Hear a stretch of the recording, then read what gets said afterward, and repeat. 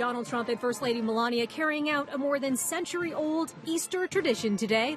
The U.S. president trading up some time on Twitter. This just a sample of what we've seen today for something a little more tippy top. More on that in just a second. But it's all for the annual egg roll at a place called, well, maybe there really is no name for it.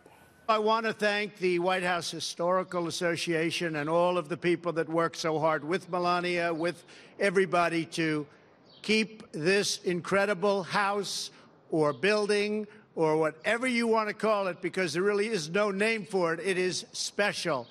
And we keep it in tip top shape. We call it sometimes tippy top shape. Some 30,000 guests turning out on the South Lawn for Easter themed games with the first family. Someone else who could be visiting the White House soon? Vladimir Putin. The Kremlin saying today that Trump invited the Russian president to visit the White House during a call between the two leaders almost two weeks ago. That was the same call that saw Trump congratulate Putin on his reelection, despite reported urging from his aides not to. And it came before the U.S. expelled 60 Russian diplomats in response to the nerve agent attack on a former Russian spy in the U.K. White House Press Secretary Sarah Sanders confirmed later today that Trump and Putin had discussed a meeting, but the White House is just one possible venue. Back to the egg roll, where Trump was asked about an issue he's been tweeting about over the holiday weekend DACA, which stands for Deferred Action for Childhood Arrivals. A reporter asked today if so called dreamers, the roughly 800,000 undocumented immigrants brought to the U.S. as children, protected by DACA, if they should be worried about deportation. The Democrats have really let them down. They've really let them down. They had this great opportunity.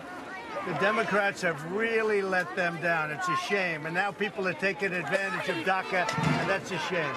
Uh, it should have never happened.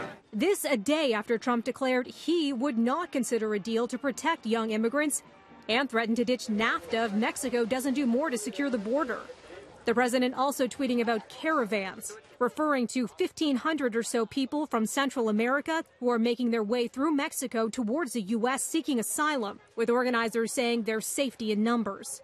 Trump posting, These big flows of people are all trying to take advantage of DACA. They want in on the act. It's not exactly clear if Trump was referring to the caravan there, but what is clear is those people on the move wouldn't even be eligible for DACA. Among the requirements, you must have continuously resided in the U.S. since June 15th, 2007.